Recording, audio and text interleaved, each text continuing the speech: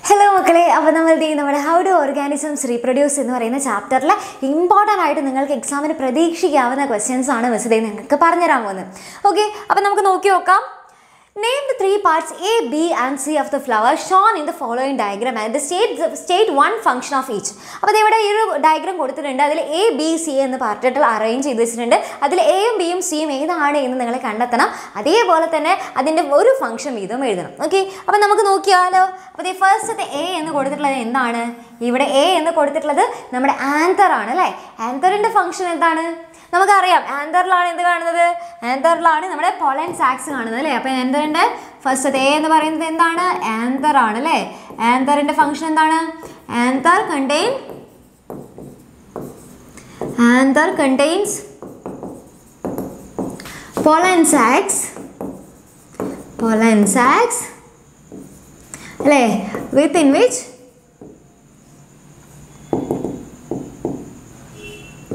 അതിന്റെ ഉള്ളിലാണ് മക്കളെ with within which pollen grains occur pollen grains occur okay അപ്പോൾ പോളൻ ഗ്രെയിൻസിന്റെ ഉള്ളിലാണ് നമ്മൾ എന്ത് കാണുന്നത്? മെയിൽ ഗ്യാമേറ്റ് കാണുന്നത്. Okay male gametes are male gametes are seen inside the pollen grain okay അപ്പോൾ നമ്മൾ ഒന്നാമത്തെ ആയി അല്ലേ എ കണ്ടുപിടിച്ചു. ഇതിന് അടുത്തതാണ് ബി ബി എന്ന് പറയുന്നത് എന്താണ്? ഇവിടെ ബീന് നേരെ നിങ്ങൾ നോക്കിക്കേ. ബി എന്ന് പറയുന്നത് ഒന്നില്ലെങ്കിൽ നിങ്ങൾക്ക് സ്റ്റൈൽ എന്നാന്ന് പറഞ്ഞിട്ട് എഴുതാം അല്ലേ? സ്റ്റൈൽ എന്ന് എഴുതിയാലും കറക്റ്റാണ് ബി എന്നില്ലെങ്കിൽ നിങ്ങൾക്ക് ഒന്ന് ഒന്നില്ലെങ്കിൽ എന്ത് എഴുതാം? ബി എന്ന് പറയുന്നത് സ്റ്റൈലാണ് എന്ന് എഴുതാം. അപ്പോൾ അതെന്ത് ചെയ്യാം? ആ ഇത് ക്യാരി സ്റ്റൈലാണെന്ന് എഴുതാം അല്ലേ? അപ്പോൾ നമുക്ക് എന്ത് എഴുതാം? ഒന്നില്ലെങ്കിൽ ബി എന്ന് പറയുന്നത് സ്റ്റൈലാണ് എന്ന് എഴുതാം. സ്റ്റൈൽ എന്ന് പറയുന്നത് എന്താണ്? It carry pollen grains into ovary എന്ന് നിങ്ങൾക്ക് എഴുതിയാലും കുഴപ്പമില്ല. ഓക്കെ പോളൻ ഗ്രെയിൻസിന് നമ്മൾ ഓവറിയിലേക്ക് ക്യാരി ചെയ്ത് കൊണ്ടുപോകുന്ന ആളാണ് നമ്മുടെ സ്റ്റൈൽ എന്ന് പറഞ്ഞിട്ട് എഴുതിയാലും കുഴപ്പമില്ല. ഇനി നിങ്ങൾക്ക് വേണമെന്നുണ്ടെങ്കിൽ എന്തും കൂടെ എഴുതാം. ആ ഇത് മൊത്തത്തിലുള്ള സ്ട്രക്ചർ നമുക്ക് എഴുതാം അല്ലേ? ഇത് വേണമെന്നുണ്ടെങ്കിൽ നിങ്ങൾക്ക് കാർപ്പലാണ് എന്ന് പറഞ്ഞിട്ട് എഴുതിയാലും തെറ്റില്ല. ഓക്കെ അപ്പോൾ രണ്ട് തരത്തിൽ നിങ്ങൾക്ക് എഴുതിയാലും കുഴപ്പമില്ല. എന്ന് എഴുതാം? ബി എന്ന് പറയുന്നത് ബി എന്ന് പറയുന്നത് കാർപ്പലാണ് അതിന്റെ ഫങ്ഷൻ എന്താണ്? ആ അതിന് എന്താണ്? It have a sticky stigma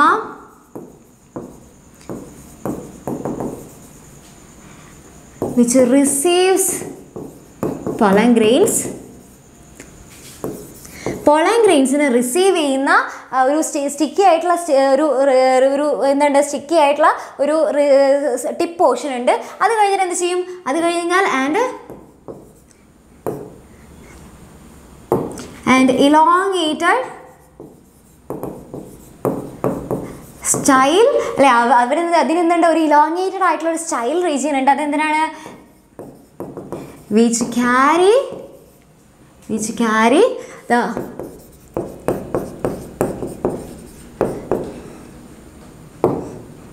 which carry the pollen grain into into the lower bulged ovary അല്ലേ? ബൾജഡ് ഓവറിയിലേക്ക് ക്യാരി ചെയ്ത് കൊണ്ടുപോകും നമ്മുടെ പൊളഗ്രെയിനെ ക്യാരി ചെയ്ത് കൊണ്ടുപോകുന്ന ആളാണിത്. നമ്മുടെ സ്റ്റൈൽ അതിന്റെ ഉള്ളിലാണ് നമ്മൾ അത് കഴിഞ്ഞിട്ട് നമ്മുടെ ലാസ്റ്റ് വരുന്ന ലോവർ ആയിട്ടുള്ള പോർഷനാണ് നമ്മുടെ ഓവറി എന്ന് പറയുന്നത്. ഓവറിന്റെ ഉള്ളിൽ എന്തുണ്ട്? ഓവറിന്റെ ഉള്ളിൽ നമ്മുടെ ഒവ്യൂൾ കാണുന്നുണ്ട്. ഒവ്യൂളിന്റെ ഉള്ളിലാണ് നമ്മുടെ ഫീമെയിൽ ഗ്യാമറ്റ് കാണുന്നത്. അപ്പോൾ നമ്മുടെ കാർപ്പൽ എന്ന് പറയുന്നത് എന്താണെന്ന് നമുക്ക് എഴുതാം? കാർപ്പൽ എന്ന് പറയുന്നത് അത് നമ്മുടെ ഫീമെയിൽ റീപ്രൊഡക്റ്റീവ് പാർട്ടാണ് എന്ന് നമുക്ക് എഴുതാം. ഫീമെയിൽ റീപ്രൊഡക്റ്റീവ് ഫീമെയിൽ റീപ്രൊഡക്റ്റീവ് പാർട്ടാണ് എന്ന് നിങ്ങൾക്ക് വേണമെന്നുണ്ടെങ്കിൽ ഒറ്റ ലൈനിൽ എഴുതാം. അതിനുശേഷം വേണമെന്നുണ്ടെങ്കിൽ ഇതും കൂടെ വേണമെങ്കിൽ ചേർത്ത് എഴുതാം. ഓക്കെ അത്രയേ ഉള്ളൂ. ദെൻ അത് കഴിഞ്ഞ് നോക്കിക്കഴിഞ്ഞാൽ അടുത്തത് സി എന്ന് പറയുന്ന പോർഷൻ എന്താണ്? ദേ നമ്മുടെ ഒവ്യൂളിന്റെ ഉള്ളിലേക്കാണ് ദേ നേരെ തീട്ടിയിരിക്കുന്നത് അല്ലേ? സി എന്ന് പറയുന്നത് നമ്മുടെ ഒവ്യൂളിന്റെ ഉള്ളിലാണ്. അല്ലേ? അപ്പോൾ ഒവ്യൂളിന്റെ ഉള്ളിലാണ് അപ്പോൾ ഇത് കാണുന്നതെങ്കിൽ അതെന്താണ്? ആ ഒവ്യൂളിന്റെ ഉള്ളിലാണെങ്കിൽ സി എന്ന് പറയുന്നത് എന്താണ് മക്കളെ? സി എന്ന് പറയുന്നത് ഒവ്യൂളാണ് അല്ലേ? അപ്പോൾ ഓവിയൂൾ എന്ന് പറയുന്നത് എന്താണ്? ആ it contains it contains female gamete female gamete അതായത് നമ്മുടെ എക്സൽ ഓക്കെ അപ്പോൾ അതാണ് നമ്മുടെ ആ ഒരു ക്വസ്റ്റ്യന്റെ ആൻസർ നമ്മളിത് കണ്ടുപിടിച്ചു. അപ്പോൾ എന്താണ് എയും ബിയും സിയും ഏതാണ് എന്നുള്ളത് കണ്ടെത്താം. അതേപോലെ തന്നെ അതിന്റെ ഓരോ ഫംഗ്ഷനും നിങ്ങൾ കറക്റ്റായിട്ട് ഐഡന്റിഫൈ ചെയ്ത് എഴുതുക എന്നുള്ളതാണ് അതിന്റെ ഫംഗ്ഷൻ ഓക്കെ അപ്പോൾ അതാണ് നമ്മൾ ഈ ഒരു ക്വസ്റ്റ്യനിൽ ചെയ്യേണ്ടത്. ഓക്കെ അപ്പോൾ ഇങ്ങനത്തെ ഒരു ക്വസ്റ്റ്യൻ എന്തായാലും പ്രതീക്ഷ അപ്പോൾ നമ്മുടെ ഫ്ലവറിന്റെ ഡിഫറെന്റ് ആയിട്ടുള്ള പാർട്സ് എന്തായാലും പഠിച്ചിരിക്കണം. Then അടുത്ത വശം നോക്കി നോക്കാം. അടുത്ത വശം എന്ന് പറയുന്നത് എന്താണ്? List and explain briefly the three methods of contraception നമ്മുടെ ത്രീ മെത്തേഡ്സ് നമ്മുടെ കോൺട്രാസെപ്ഷന്റെ പല മെത്തേഡ്സ് നമ്മൾ പഠിച്ചിട്ടുള്ളതാണ്. അതിലേതെങ്കിലും മൂന്ന് മെത്തേഡ്സ് പഠിക്കാൻ പറയാനാണ് നമുക്ക് പറഞ്ഞേക്കുന്നത്. അപ്പോൾ നമുക്ക് നോക്കി നോക്കാം. ഏതൊക്കെയാണ് നമ്മുടെ പലതരത്തിലുള്ള കോൺട്രാസെപ്റ്റീവ് മെത്തേഡ്സ് നമുക്കറിയാമല്ലേ നമ്മൾ പഠിച്ചിട്ടുണ്ട്. ഏതൊക്കെയാണ് നമ്മൾ പഠിച്ചിട്ടുള്ളത്?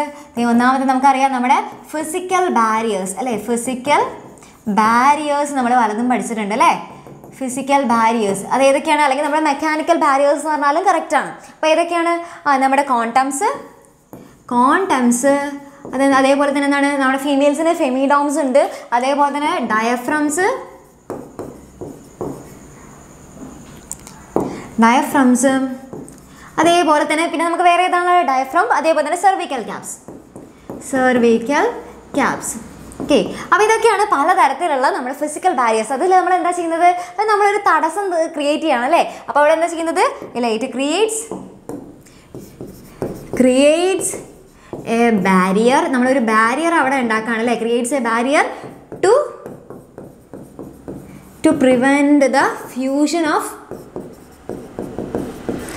fusion of egg and sperm എഗ്ഗിന്റെയോ സ്പേമിന്റെയോ ഫ്യൂഷനെ നമ്മൾ പ്രിവെന്റ് ചെയ്യാനായിട്ട് അതിന്റെ ഇടയിൽ ഒരു ബാരിയർ നമ്മൾ ഉണ്ടാക്കി വെക്കുന്നതാണ് എന്ത്? നമ്മുടെ ഫിസിക്കൽ ബാരിയേഴ്സ് എന്ന് പറയുന്നത്. ഓക്കെ അപ്പോൾ അതിന് എക്സാമ്പിൾസ് നമ്മൾ കണ്ടു അല്ലേ? Then അടുത്ത ആളാണ്. അടുത്ത ആളാണ് ആരാണ്? നമ്മൾ ഫിസിക്കൽ ബാരിയേഴ്സ് കഴിഞ്ഞ് കഴിഞ്ഞാൽ നമുക്കറിയാം എന്താണ്? നമ്മുടെ പല തരത്തിലുള്ള നമ്മുടെ ഏതൊക്കെയാണ്? ഓറൽ കോൺട്രാസെപ്റ്റീവ് മെത്തേഡ്സ് അല്ലേ?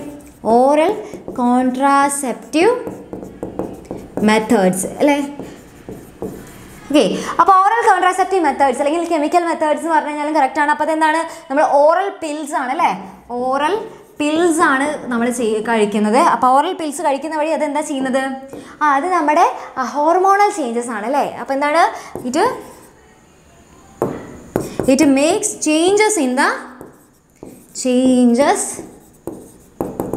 in the hormonal level അല്ലേ? നമ്മുടെ ഹോർമോണൽ ലെവലിൽ ചേഞ്ചസ് ഉണ്ടാക്കുകയാണ് ചെയ്യുന്നത്. അപ്പോൾ ഹോർമോണൽ ലെവലിൽ ചേഞ്ചസ് ഉണ്ടാകുമ്പോൾ എന്തുണ്ടാകും?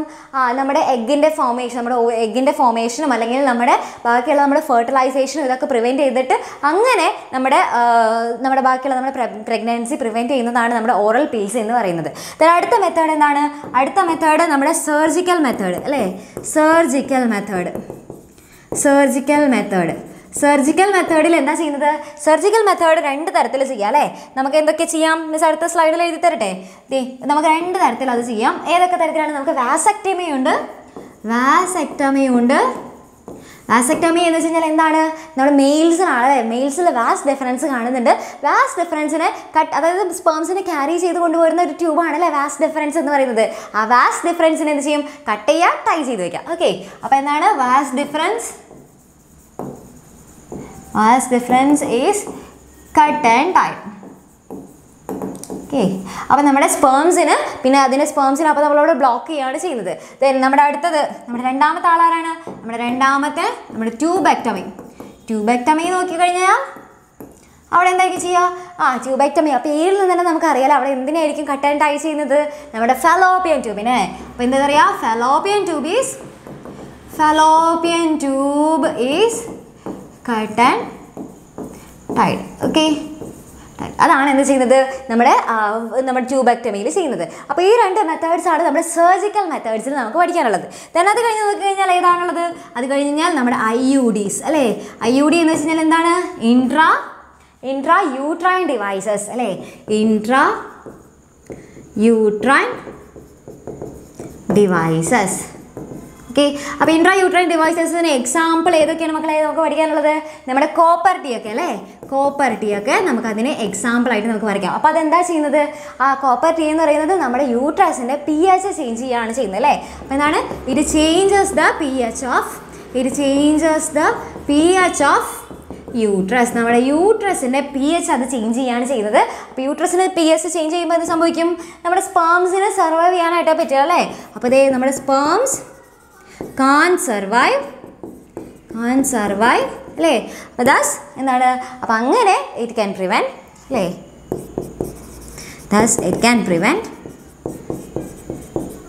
prevent pregnancy pregnancy അപ്പോൾ ഇങ്ങനെയാണ് എന്ത്? നമ്മുടെ പല തരത്തിലുള്ള നമ്മുടെ കോൺട്രാസെപ്റ്റീവ് മെത്തേഡ്സ് നമ്മളെ ഹെൽപ്പ് ചെയ്യുന്നത്. ക്ലിയർ ആയല്ലോ? Then അടുത്ത ക്വസ്റ്റ്യൻ ആണ്. നമ്മുടെ what is placenta describe its structure state its function in case of a pregnant human female അപ്പോൾ എന്താണ് പ്ലാസൻഡ എന്നുള്ളത് എപ്പോഴും എക്സാമിന് ചോദിക്കുന്നതാണ്. നമുക്കറിയാലോ എന്താണ് പ്ലാസൻഡ നമ്മുടെ അമ്മയും കുഞ്ഞും തമ്മിൽ അത്യാവശ്യം ആ ഒരു ഗ്ലൂക്കോസും ഓക്സിജനും ഇതൊക്കെ ട്രാൻസ്ഫർ ചെയ്ത് കൊടുക്കാനും അതേപോലെ തന്നെ കുഞ്ഞിൽ നിന്നുണ്ടാകുന്ന ആ എംബ്രിയോയിൽ നിന്നുണ്ടാകുന്ന വേസ്റ്റിനൊക്കെ ട്രാൻസ്ഫർ ചെയ്യാനും വേണ്ടിയിട്ട് സഹായിക്കുന്ന ഒരു ടെമ്പററി ആയിട്ടുള്ള ഒരു സ്പെഷ്യൽ ടിഷ്യൂ ആണ് അല്ലേ? ഒരു ഡിസ്ക് ഷേപ്പ് ആയിട്ടുള്ള ടിഷ്യൂ ആണ് നമ്മുടെ പ്ലാസൻഡ എന്ന് പറയുന്നത്. അപ്പോൾ അപ്പോൾ നമുക്കതിനെങ്ങനെ എഴുതാം? അല്ലേ അപ്പോൾ അതിന് നമുക്ക് എന്ത് എഴുതാം ആ during during pregnancy during pregnancy a special tissue called placenta placenta develops in the maternal uterine wall അല്ലേ നമ്മുടെ യൂട്രൈൻ വാൾ ഓക്കെ നമ്മുടെ അമ്മയുടെ ആ യൂട്രൈൻ വാളിൽ ഉണ്ടാകുന്ന ഒരു സ്പെഷ്യൽ ആയിട്ടുള്ള ഒരു ടിഷ്യൂനെയാണ് നമ്മൾ എന്ത് പറയുന്നത്? നമ്മുടെ ഈ പ്ലാസൻഡ എന്ന് പറയുന്നത്. അപ്പോൾ അതെന്താണ്? അതൊരു ഡിസ്ക് ഷേപ്പഡ് ആയിട്ടുള്ള സ്ട്രക്ചറാണ് അല്ലേ? ഡിസ്ക് ഷേപ്പഡ് സ്ട്രക്ചറാണ് പിന്നെ എന്തുണ്ടാകും? ആ അതിൽ കുറേ വില്ലൈസ് ഉണ്ടായിരിക്കും അല്ലേ? അപ്പോൾ എന്താണ്? ഇറ്റ് ഹാസ് ഈ അല്ലേ? അത് ഒത്തിരി വില്ല ഉണ്ടാകും എവിടെയാണ്? എംബ്രിയോണിക് സൈഡിൽ അല്ലേ? എംബ്രിയോണിക് സൈഡിൽ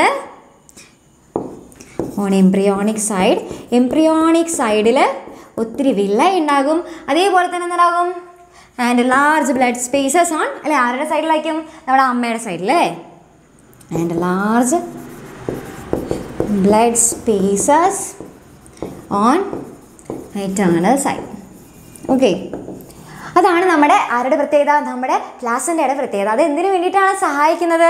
അതിന്റെ ശരിക്കുള്ള ഫംഗ്ഷൻ എന്താണെന്ന് എഴുതാൻ ചോദിച്ചാൽ നമ്മൾ എന്താ എഴുതണം? ആ ഇറ്റ് ഹെൽപ്സ് ഇൻ ദ അല്ലെങ്കിൽ it it helps to increase the surface area of അല്ലേ? Increase the surface area of glucose and oxygen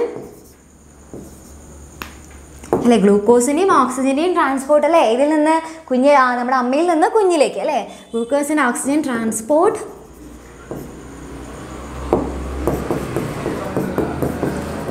from mother to embryo അല്ലേ? അതേപോലെ തന്നെ എന്തിനും കൂടി സഹായിക്കുന്നുണ്ട്? നമ്മുടെ എംബ്രിയോയിൽ ഉണ്ടാകുന്ന ആ മെറ്റബോളിക് വേസ്റ്റിന്റെ ഒക്കെ ആ റിമൂവൽ വേണ്ടിയിട്ട് അല്ലേ അപ്പം എന്താണ്? It also it also helps to remove the embryonic metabolic waste. Metabolic waste okay അപ്പോൾ ഇത്ര എഴുതിയിട്ട് വേണം എന്റെ മക്കൾ എന്ത് ചെയ്യുക ആ ഒരു ക്വസ്റ്റ്യൻ കംപ്ലീറ്റ് ആക്കാനായിട്ട്. അപ്പോൾ ക്ലിയർ ആയല്ലോ? അപ്പോൾ എന്തായാലും നമ്മുടെ ഈ ഒരു പ്ലാസന്റിനെ കുറിച്ചുള്ള ക്വസ്റ്റ്യൻ എന്തായാലും എക്സാമിന് ഇമ്പോർട്ടന്റ് ആയിട്ട് ഷുവർ ആയിട്ട് ചോദിക്കാൻ ചാൻസ് ഉള്ള ഒരു ക്വസ്റ്റ്യൻ ആണ് കേട്ടോ. ഇനി അടുത്ത ക്വസ്റ്റ്യൻ നോക്കി നോക്കാം. അടുത്ത ക്വസ്റ്റ്യൻ ആണ് draw a sectional view of a view of a human female reproductive system and label the following parts നമ്മളോട് ഒരു ഹ്യൂമൻ ഫീമെയിൽ റീപ്രൊഡക്റ്റീവ് പാർട്ട് നമുക്ക് വരയ്ക്കാനാണ് പറഞ്ഞിരിക്കുന്നത്. ചിലപ്പോൾ നിങ്ങൾക്ക് ഇവിടെ കറക്റ്റായിട്ട് നമുക്ക് ആ പിക്ചർ തരും. ഭൂരിഭാഗം കേസിലധികം പിക്ചർ തന്നിട്ട് ചോദിക്കാറാണ് പതിവ്. പക്ഷെ എന്നാലും ചിലപ്പോൾ ചില കേസസിൽ എന്തുണ്ടാവും? നമ്മളോട് വരയ്ക്കാൻ പറഞ്ഞു കഴിഞ്ഞാൽ നമുക്ക് അറിയണം അല്ലേ? അപ്പോൾ അങ്ങനെ ചോദിച്ചു കഴിഞ്ഞാൽ അപ്പോൾ നമ്മൾ എന്ത് ചെയ്യണം? വരയ്ക്കണം അല്ലേ? അപ്പോൾ ദേ മിസ് ദേ തൽക്കാതെ ദേ ഇവിടെ ചെറിയതായിട്ട് മിസ്സിന് അറിയുന്ന രീതിയിൽ ദേ മിസ് ഒരു കുഞ്ഞൊരു അല്ലേ കണ്ടു കഴിഞ്ഞാൽ ചിലപ്പോൾ കപ്പ് പോലെയൊക്കെ നിങ്ങൾക്ക് തോന്നുന്നുണ്ടാവും. മിസ് തൽക്കാലത്തിന് ദേ ഒരു കുഞ്ഞൊരു ഫീമെയിൽ റീപ്രൊഡക്റ്റീവ് സിസ്റ്റം മിസ് ദേ വരച്ച് വെച്ചിട്ടുണ്ട്. ഓക്കെ അപ്പോൾ ഇതിൽ നമ്മളോട് ചോദിച്ചിട്ടുള്ളത് എന്താണ്? ഇതിൽ നമ്മൾ ചോദിച്ചിട്ടുള്ളത് ദേ ഇവിടെ നമുക്ക് ലേബൽ ചെയ്യാനാണ് ഇവിടെ കൊടുത്തിട്ടുള്ള ഭാഗങ്ങൾ ലേബൽ ചെയ്യാനാണ് പറഞ്ഞിട്ടുള്ളത്. അപ്പോൾ ദേ ഇവിടെ ഫസ്റ്റത്തെ എന്താണ്? ഫസ്റ്റത്തെ where the development of egg occurs എവിടെയാണ് നമ്മുടെ എഗ്ഗിന്റെ ഡെവലപ്മെന്റ് നടക്കുന്നത്? എവിടെയായിരിക്കും മറ്റേ എഗ്ഗിന്റെ ഡെവലപ്മെന്റ് നടക്കുന്നത് മക്കളെ? ഇതിൽ എവിടെയായിരിക്കും? നമ്മുടെ ഓവറിയിലായിരിക്കും അല്ലേ? അപ്പോൾ അതേ ഫസ്റ്റത്തെ നമ്മുടെ ഓവറിയിലായിരിക്കും എന്ത് ചെയ്യുന്നത്? ഡെവലപ്മെന്റ് ഓഫ് എഗ് നടക്കുന്നത്. അപ്പോൾ നമുക്ക് എന്ത് ചെയ്താം development development of egg occurs. Okay then അടുത്ത ക്വസ്റ്റ്യൻ എന്താണ്? അടുത്ത question where the fertilisation takes place എവിടെയാണ് ഫെർട്ടിലൈസേഷൻ നടക്കുന്നത്? ഫെർട്ടിലൈസേഷൻ നടക്കുന്നത് എവിടെയാണ്? നമുക്കറിയാം നമ്മുടെ ഫെലോപ്പിയൻ ട്യൂബ് ഉണ്ട് അല്ലേ ഫെലോപ്പിയൻ ട്യൂബിലാണ് ഫലോപ്പിയൻ ട്യൂബിലാണ് നമുക്ക് എന്ത് നടക്കുന്നത്? ഫെർട്ടിലൈസേഷൻ നടക്കുന്നത് അല്ലേ? അവിടെയാണ് ഫെർട്ടിലൈസേഷൻ നടക്കുന്നത് fertilisation fertilisation occurs okay then അടുത്ത ക്വസ്റ്റ്യൻ എന്താണ്? അടുത്തത് അല്ലേ where the fertilised eggs get implanted എവിടെയാണ് ഫെർട്ടിലൈസ്ഡ് ആയിട്ടുള്ള എഗ്സ് ഇംപ്ലാന്റ് ചെയ്യുന്നത്? അപ്പോൾ ഇത് എവിടെയാണ്? നമുക്കറിയാലോ എവിടെയാണ് മക്കളെ? നമ്മുടെ യൂട്രസിൽ അല്ലേ? യൂട്രസിലാണ് യൂട്രസിലാണ് എന്ത് നടക്കുന്നത്? നമ്മുടെ ഇംപ്ലാന്റേഷൻ അല്ലേ? ഇംപ്ലാന്റേഷൻ നടക്കുന്നത് എവിടെയാണ്? നമ്മുടെ യൂട്രസിനുള്ളിലാണ് അപ്പോൾ ക്ലിയർ ആയല്ലോ? അപ്പോൾ അങ്ങനെയാണ് നമുക്ക് എഴുതേണ്ടത്. ദൻ അടുത്തത്. Describe the changes the uterus undergoes അല്ലേ? ആ യൂട്രസിനുണ്ടാകുന്ന ചേഞ്ചസ് നിങ്ങൾ പറയാനാണ് പറഞ്ഞിരിക്കുന്നത്. എപ്പോഴാണ്? ടു റിസീവ് ദ സൈഗോട്ട് സൈഗോട്ടിനെ റിസീവ് ചെയ്യുന്ന സമയത്ത് അവിടെ എന്തായിരിക്കും നടക്കുക? എന്തായിരിക്കും നടക്കുക? നമുക്കറിയാലോ സൈഗോട്ടിനെ റിസീവ് ചെയ്യുന്ന സമയത്ത് അവിടെ എന്തായിരിക്കും? ആ നമ്മുടെ സൈഗോട്ട് വന്നിട്ട് എവിടെയാണ് ഇംപ്ലാന്റേഷൻ നടക്കുക? നമ്മുടെ യൂട്രസിന്റെ വോളിൽ അല്ലേ? അപ്പോൾ സൈഗോട്ട് get implanted into അല്ലേ implanted on the uterine wall. അല്ലേ നമ്മുടെ യൂട്രൈൻ വാളിൽ വന്നിട്ട് സൈഗോട്ട് ഇംപ്ലാന്റേഷൻ നടത്തും. പിന്നെ അതേപോലെ തന്നെ എന്തുണ്ടാവും? നമ്മുടെ സൈഗോ നമ്മുടെ ആ ഒരു സമയത്ത് യൂട്രസിന്റെ അവസ്ഥ എന്തായിരിക്കും? നല്ലോണം തിക്കായിട്ടുണ്ടാവും അല്ലേ? അപ്പോൾ യൂട്രസിന്റെ